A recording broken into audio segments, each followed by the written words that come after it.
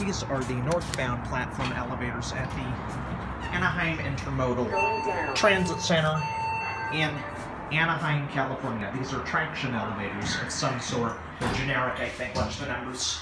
There's a bank of two. They're on the same controller. Ooh, this is fast. Look out the side on the way. Um, up. From the platform. I don't think I'm going to go the other one. So I don't have enough disk space. Alright. Let's go to Concourse Bridge. Here's a cab view. These are very nice. These were installed in 2014. Let's look at the numbers. Uh, no, actually, we'll look at this side.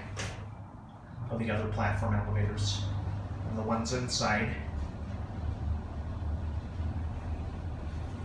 I Don't really need to watch the button go out. Here we are. The other bank is going to be identical. We'll get out here, watch the GL interlock. There's the other one. They're on the same controller. Watch the door close. There it goes. Alright, and anyways, that will be it.